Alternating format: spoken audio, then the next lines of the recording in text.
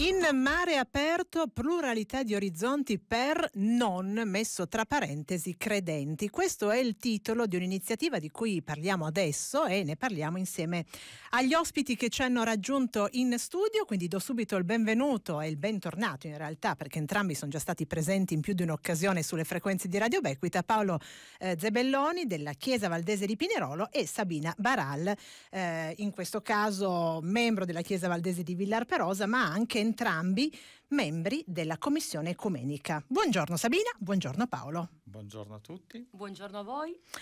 Io partirei dalla base. Che cos'è questa Commissione Ecumenica? Come nasce e chi raccoglie?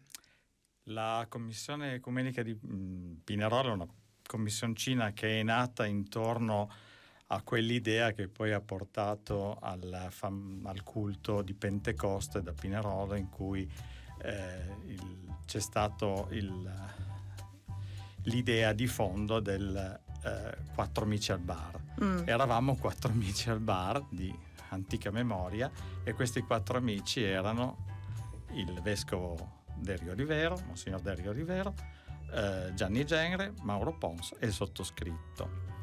Da lì è iniziato un rapporto molto, eh, molto bello, secondo me, molto mh, informale che ha portato da una parte alla diffusione del culto di Pentecoste del credo 2022 eh, che è stato diffuso da, da RAI e, e nel frattempo si è creata questa commissione che raccoglie sostanzialmente eh, il vescovo, Monsignor Del Rio Olivero, eh, Mauro Pons, Sabina, il sottoscritto, eh, Silvia Borgiattino e recentemente eh, anche mm, Roberto Prinzio, che è vicepresidente del concistoro di, di, Pinerolo, e recentemente Carla Signori, che è la portavoce, diciamo comunque la media manager della diocesi.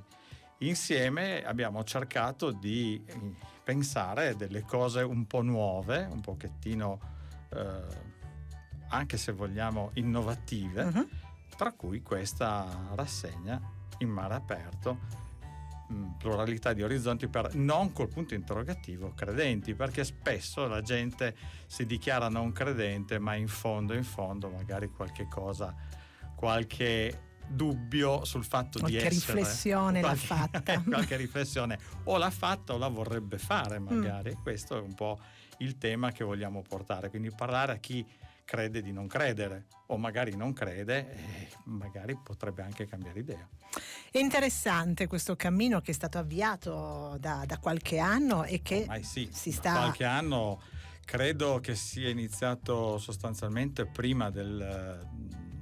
diciamo i semi sono stati gettati prima del covid perché io dico sempre c'è un prima del Covid e poi c'è un dopo Covid. Mm, che ha stravolto un po'. Un po' sì, ha certo. cambiato mm. i termini.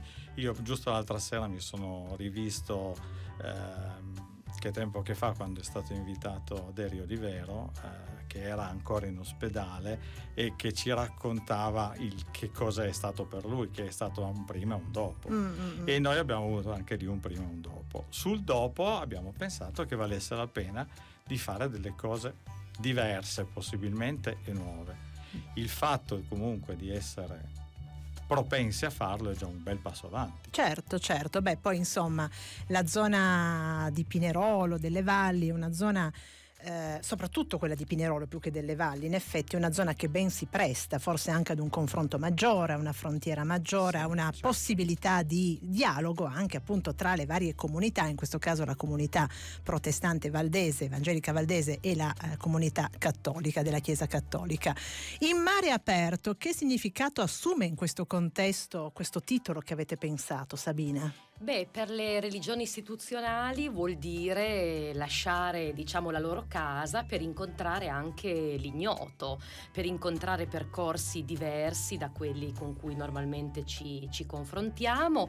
Certo c'è un rischio, c'è anche il senso della sfida, però mh, crediamo che sia importante appunto aprirsi a, a, a, percorsi e strade diverse che possono essere il dialogo con i non credenti ma anche con persone che vivono una pietà personale semplicemente in modo diverso dalla, eh, dalla nostra. E, spesso ah, siamo presi dai pregiudizi, da preconcetti, no? senza pensare che noi possiamo intravedere anche degli spiragli di trascendenza laddove proprio noi non ce li immagineremmo, perché Dio sappiamo che ci spiazza sempre, ci, si fa sempre trovare laddove noi non penseremmo che, che sia, no? e quindi magari anche in un um, cantante o in un musicista di una band possiamo... Um, eh, magari c'è una ricerca di senso certo. che ci avvicina, che, che, si avvicina a una ricerca di spiritualità o comunque anche di, di fede. Ecco. Certo. L'importante secondo me è mm,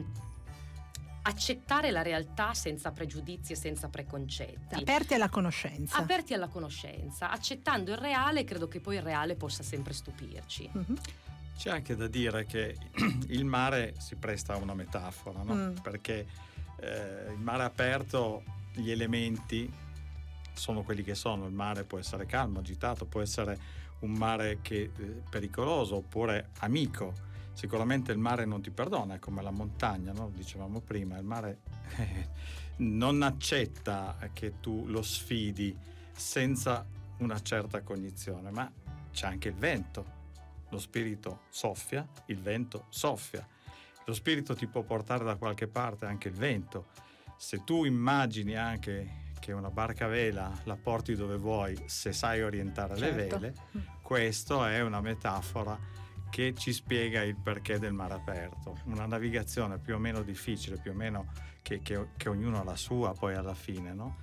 E, e, magari pensare che possiamo parlare di una navigazione non così eh, facile per tutti, posto che per qualcuno lo sia, ma magari per qualcuno è più facile, per altri meno facile, e da qui è nato il mm. discorso del, del, mare aperto. A me fa anche pensare questa, questo titolo che avete dato in mare aperto alla vastità degli argomenti, delle anche. cose che si possono dire, dei, eh, certo. del, sì, proprio degli ambiti di lavoro che sono certo. talmente tanti che insomma a volte sono perfino invisibili no, all'orizzonte. Poi la navigazione si presta a fare il sottocosta, non vai tanto lontano, però insomma corri il rischio di andare su qualche secca il mare aperto invece è quello che dice magari la secca non la trovo e posso andare in posti più lontani, posso superare i miei limiti basta che abbia il coraggio di farlo. Anche. Certo, e le, la, la, voglia di mettersi in gioco, voglia, la capacità. Un po' certo. capacità magari uh, aiuta.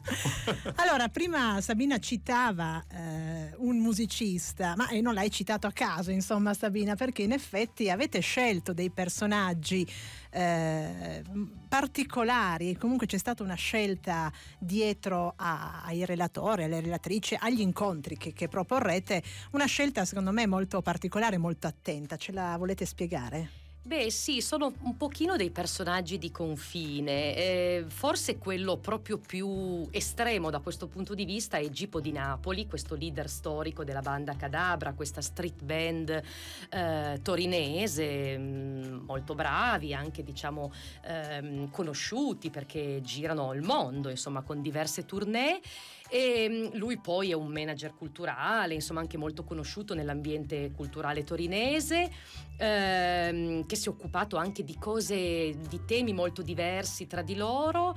E, mm, non lo so, io assistendo dei loro concerti molto banalmente ho pensato che ci fosse qualcosa di sacro, anche se apparentemente lui è una persona profana, mm-hmm. una di quelle più profane che non... No? E però credo che ci sia nel, nella loro capacità, per esempio, esempio di comunicare con mm. chi ascolta, di fare musica in questa maniera esemplare, viva, eh, veramente qualcosa passionale. passionale, mm. qualcosa che possa avvicinare, perché no, alla trascendenza. Quindi è, un, è, tutta una sfida, eh certo. questo ce lo, ce lo dirà Gipo, sì, esatto. se questa intuizione mia è assolutamente Beh, intanto folle. ha accettato oh, l'invito. Però ha accettato quindi... e devo dire anche con... Um, onorato e lieto probabilmente anche lui di andare in una terra direi sconosciuta, ecco perché non è il suo pubblico abituale. abituale. Certo. Eh, potete insomma citarci al qualche altro partecipante? Sono quattro, tocca, tra l'altro, esatto, gli incontri. Sono quattro diciamo. gli incontri e tra l'altro gli incontri erano strutturati per poter dare una continuità che portasse poi al falò del 16 e poi al 17 esatto. febbraio. Quindi er- sono stati cadenzati proprio nelle quattro settimane prima, eh, l'ultima è il, la settimana prima di, dei, dei falò. E la prima è già la prossima. Già, già, siamo già praticamente... 19 gennaio. Il 19 gennaio, ormai praticamente ci mm. siamo lì.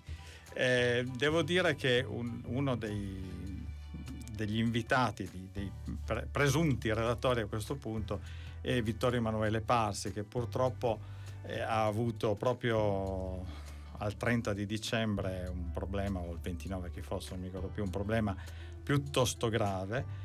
Noi abbiamo pensato di mantenere la, il suo appuntamento perché mh, ci risulta da, da Paola Schellenbaum, che era eh, deputata a intervistarlo e a interagire con lui, eh, che ci tenesse moltissimo a venire in terra valdese. È stato a Pinerolo qualche, l'anno scorso, mi pare a maggio, e, e ci teneva. Lui è, anche lì è un non credente. Eh, che però è interessato quindi da questo punto di vista magari sai anche lui avendo avuto questa esperienza non sappiamo come certo ne, è ancora da confermare questa da, data certo. quindi, allora è improbabile che riusciremo ma ci proviamo ecco da questo punto di vista. Gli altri invece te li lascio. Sì, beh, l'altra è Annalena Benini, forse figura più conosciuta, beh, non, non, non, certo di Parsi, perché Parsi è un politologo molto noto, ma Annalena Benini è giornalista del Foglio, si occupa in particolare di cultura, direi di costume, ed è anche la direttrice del Salone del Libro di Torino. E, ehm, è anche una scrittrice, perché questo mh, libro, l'ultimo, Annalena, intorno a cui interloquiremo, è appunto il terzo di, di mi sembra, dei suoi libri ed è una donna molto attenta alla, alla, valorizzazione delle figure femminili, molto attenta alla sapienza femminile, eh, una donna direi che ama l'ambizione delle donne e il desiderio femminile, cioè de, quel, quel, desiderio che ci porta a pensare in grande e a fare le cose in grande. Quindi ci interrogheremo un po' intorno a questo tema di che cosa significa appunto desiderare, eh, eccetera. L'altro è invece ruota più intorno al mondo cattolico, Luigi Verdi che è fondatore della Fraternità di Romena che prende il nome dalla, della Pieve Toscana dove lui accoglie persone anche lì in ricerca che cercano anche una semplice ospitalità ma anche magari mh, un'interlocuzione intorno ai temi della spiritualità. Anche ecco. lui è un soggetto da quello che ho capito molto border appunto nel mondo cattolico quindi sì. è molto sul confine quindi mm anche lui un po' affacciato si sulla interroga molto. Sì, è affacciato certo. sulla scogliera che guarda il mare aperto. Ecco. Diciamo che credo che siano persone che uno o ama profondamente o in qualche modo un po' detesta, cioè di quelle persone che avendo un carattere si dice spesso che hanno un brutto carattere, perché semplicemente perché hanno un carattere, cioè hanno una personalità. Eh, insomma, avete scelto anche in modo un po' provocatorio queste, questo, queste persone che comunque insomma la provocazione aiuta anche a, no, a stimolare stimolare il dibattito, certo. il confronto. gli appuntamenti sono uh, previsti due nella sala Bonhoeffer della Diocesi. della diocesi. Sì, via Trieste, sono i primi due, I 19 primi due. gennaio e 26 gennaio. E poi i due successivi al salone, nel Tempio Valdese di Pinerolo. Esatto. con questo grosso punto interrogativo. Ma noi abbiamo ipotizzato di rimandarlo, cioè mm. alla peggio non si fa l'uno, ma si farà, si farà, in qualche modo, sperando appunto che come mi risulta eh, il professor Parsi stia, stia meglio. Ecco. In ogni caso noi diamo l'appuntamento con il, eh, ricordiamo il primo appuntamento che sarà appunto venerdì 19 di eh, gennaio con questo ciclo di incontri, quattro incontri, speriamo che siano quattro, lo saranno se non adesso a febbraio subito. poi, eh, in mare aperto, pluralità di orizzonti per non o credenti, insomma a seconda di come uno si vuole definire, questo ciclo di incontri organizzati dalla Diocesi e dalla Chiesa Valdese di Pinerolo. Io ringrazio ovviamente i miei ospiti, grazie a Paolo grazie Zabellone e grazie a Sabina Baral per essere stati con noi e buona, buon inizio insomma per questo percorso che ci porterà verso il 17 sì, febbraio. Si anche con la SPUC. Esatto, con la settimana, di, preghiera, di preghiera. E quindi abbiamo montato questa sequenza in questo modo, quindi ci sembrava bello poterlo anche sicuramente dire un po' a tutti. Grazie, grazie buon grazie lavoro. Grazie a tutti.